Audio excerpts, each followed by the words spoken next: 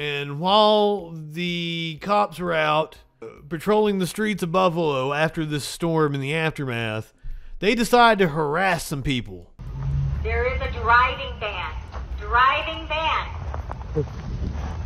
You don't need to go to 7-Eleven. Put the macaroni in your pantry. Why are you out on the road? There is a driving ban. Driving ban. You don't need to go to 7-Eleven. Put the macaroni in your pantry. Cook the macaroni in your pantry. Buffalo cop uses loudspeaker to tell driver to go home.